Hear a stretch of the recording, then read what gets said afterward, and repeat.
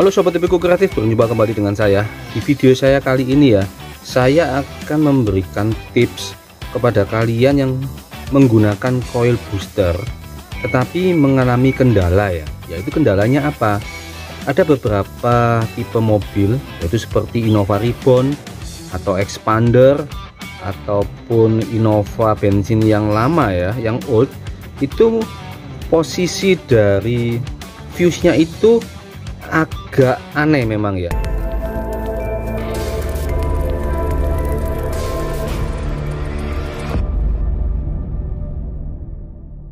Jadi tidak bisa enak dalam penempatan fuse holdernya ini ya. Jadi harus sedikit melakukan modif supaya dudukannya itu bisa pas ataupun bisa masuk ya. Jadi saya itu akan selalu memberikan solusi kepada kalian yang memakai coil booster terutama permasalahan penempatan fuse ya. Jadi yang sering dihadapi kendalanya itu seperti itu. Tetapi pada dasarnya bisa cuma penempatannya aja yang memang terkadang membutuhkan modif. Contohnya di Innova Ribbon ini ya. Saya akan tunjukkan penempatan di Innova Ribbon ini ada di 15 ampere ini ya. Jadi di ruang mesin. Dan posisinya itu hadapnya kan pilihannya cuma ini atau seperti ini. Ya karena lihat dari letak fuse-nya ya. Jadi letaknya adalah seperti ini atau seperti ini. Dan ternyata kalau di Innova Ribbon itu memang letaknya seperti ini. Sehingga kalau dimasukkan seperti ini ya teman-teman bisa perhatikan dimasukkan ini akan ganjel. Terganjal dengan posisi pinggiran box ini ya. Alternatifnya ini adalah dipapras. Kalau kalian tidak mau memapras ini akan mentok dengan posisi ini. Ada plastik ini ya di pinggirnya ini. Satu-satunya jalan adalah plastik ini dihilangkan. Bagaimana caranya? Saya akan tunjukkan ya. Kalau kalian membeli dari saya kalian akan mendapatkan uh, bentuk yang seperti ini ya rapi. Karena diisolasi sampai ke atas ya. Jadi ini rapi banget. Ini harus dibuka ya. Ini harus dibuka sedikit isolasinya ya. Nggak usah banyak-banyak. Untuk memudahkan kita menghilangkan ini. Ini yang perlu dihilangkan tuh yang ini. Ah, kotak yang ini loh. Ini yang perlu dihilangkan karena ini yang membuat ganjel ya. Nah, ini sedikit dibuka aja isolasinya. Ya nah, ini sampai sepanjang ini ya dia nah ini. Ini dibuka. Caranya apa? Kalau saya menggunakan tang potong kecil seperti ini ya. Saya potong pelan-pelan seperti ini ya. Teman-teman bisa perhatikan dan contoh saya. Jangan terlalu dalam ya. Ya sangat mudah sekali. Nah ini loh. Sudah lepas. Ya kan? Ini sudah lepas. Dan yang bagian dalamnya juga sama.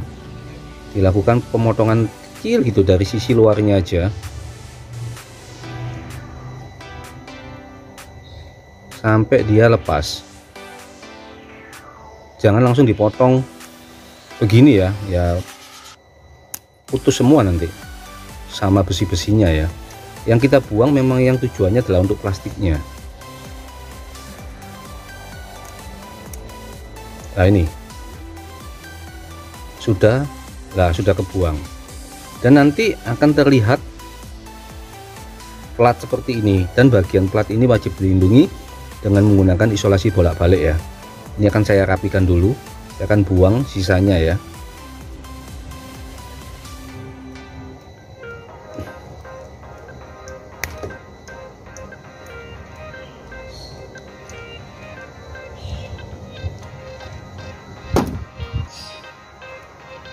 Saya akan rapikan. Yang penting aman aja ya. Tidak perlu terlalu tebal karena nanti juga akan mengganjal ya efeknya.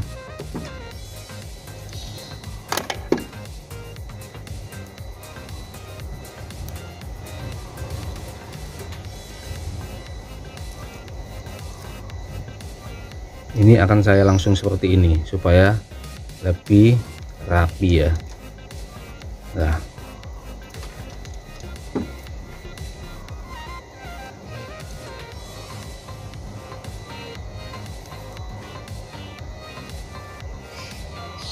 tidak akan mengalami konslet ya. Jadi jangan khawatir tidak akan dengan dibukanya plastik itu tidak akan menyebabkan konslet. Jadi tidak perlu khawatir.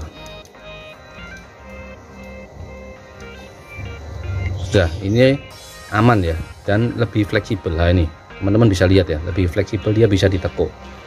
Oke kita akan coba langsung ya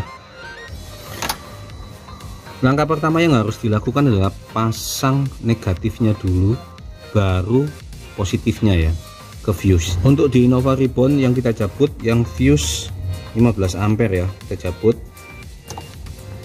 Saya sih simpan di sini saja fuse nya ini kan tempat penyimpanan ya untuk cadangan di sini.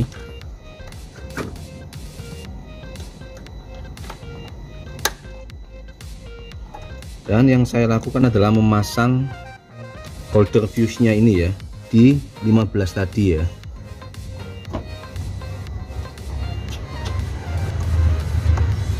Arahnya seperti ini. Kalau di Innova Ribbon arahnya menghadap ke sisi kiri ya.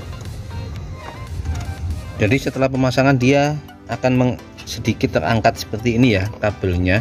Tetapi ini nanti kalau ditutup ya bisa seperti ini dia. Yang penting ini ditekan yang dalam dan sudah masuk ke soketnya ya coba kita lihat ya sekarang. 15,4 ya.